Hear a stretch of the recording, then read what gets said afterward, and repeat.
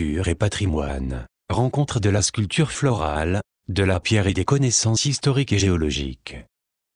Le 17 mai 2013 avait lieu l'inauguration de l'exposition, avec Elsa Magré, l'art de la sculpture florale sur des supports minéraux et Lucien Leroy, l'art et la connaissance des fossiles et la géologie des plantes. L'affiche nous annonçait un dialogue entre un géologue et un sculpteur. Voici des fruits, des fleurs, des feuilles et des branches. Messieurs, chers amis, bonsoir.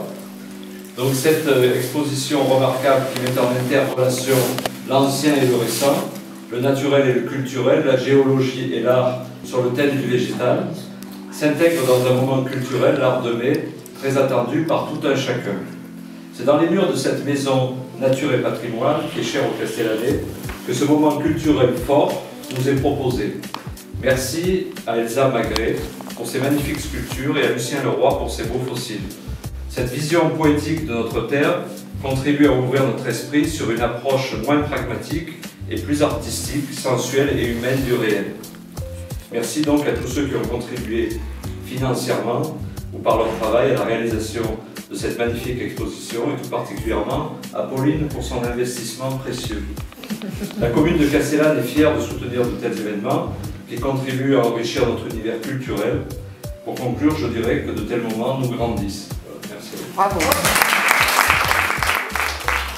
Merci, euh, merci à tous d'être présents et merci à Pauline, merci à la municipalité de Castellane, euh, à tous de nous accueillir et merci à Lucien qui a quand même lancé cette idée euh, sympathique. Voilà, donc là je vous présente trois pièces euh, avec euh, plusieurs matières, donc matière minérale, mais donc euh, la pièce noire qui est en ardoise, la verte qui est un schiste vert de la vallée de la Roya et la blanche qui est en marbre de Carrare.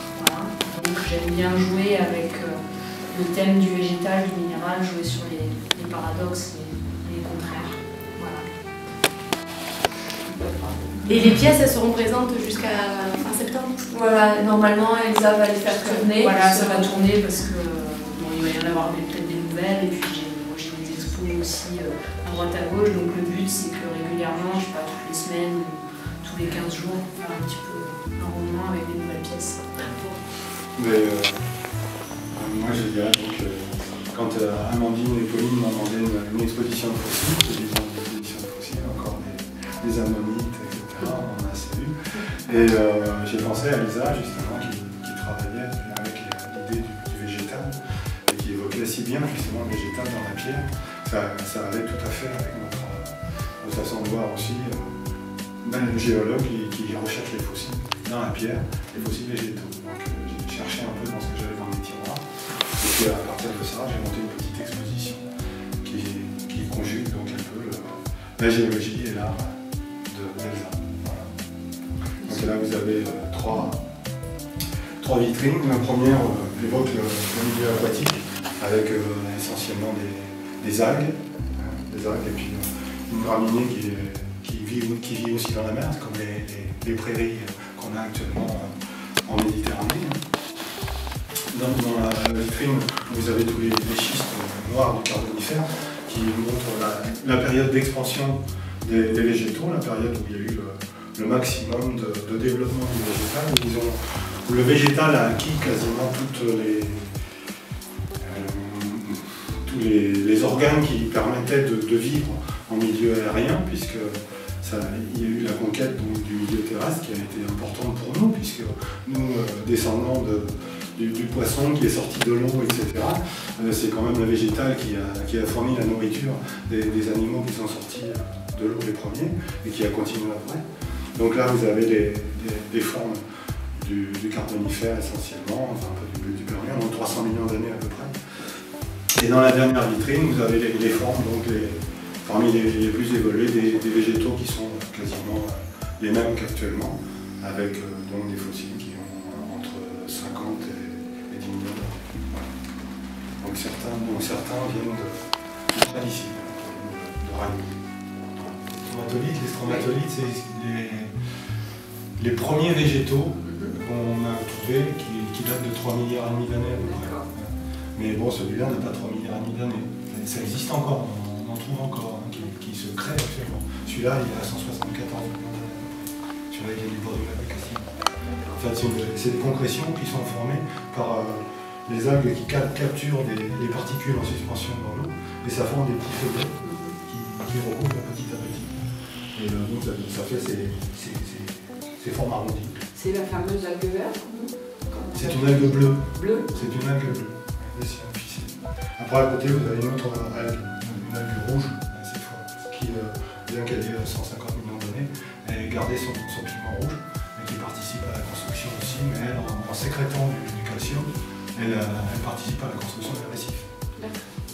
Donc là, c'est le, milieu marin, le milieu aquatique. C'est le début de la, vie, euh, de la vie en général. les premières, la première étape de la vie dans l'eau, ça a été les bactéries. Ensuite, ça s'est divisé donc, en milieu végétal avec la photosynthèse, puis le milieu animal.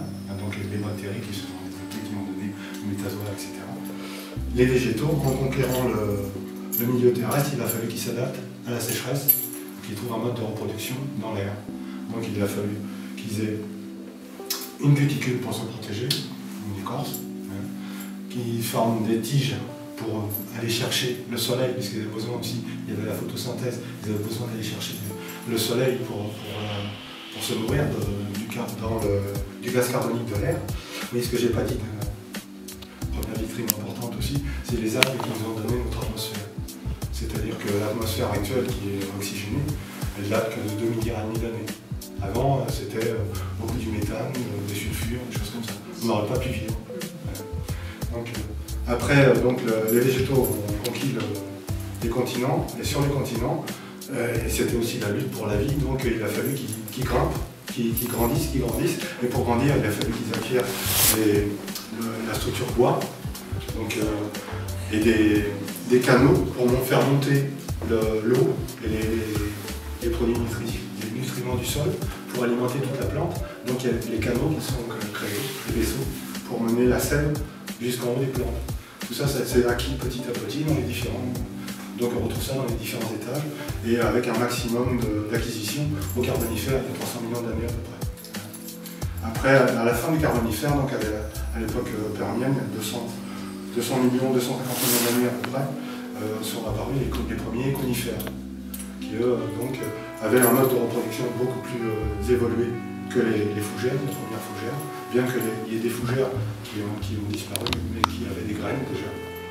Après, donc, ces conifères avaient des graines et des graines nues, j'espère, et ça a continué à évoluer, et on arrive après avec les, feuillus et, toute la végétation qu'on a actuellement. Avec le, sommet de l'évolution actuellement, c'est euh, les orchidées. Elle va être euh, en accès libre pendant toute la saison, jusqu'à fin septembre. Euh, c'était une volonté de mettre à disposition une, expo gratuite pour le public, puisque les étages sont payants. voilà, et puis après pour le prochain ah, non, pas. pour le prochain événement qu'on a à la Maison Nature et Patrimoine, c'est l'inauguration de l'expo euh, de Vignes en Grappe, euh, fait par euh, l'association Petra Castellana. Donc c'est le 2 juin à 10h30.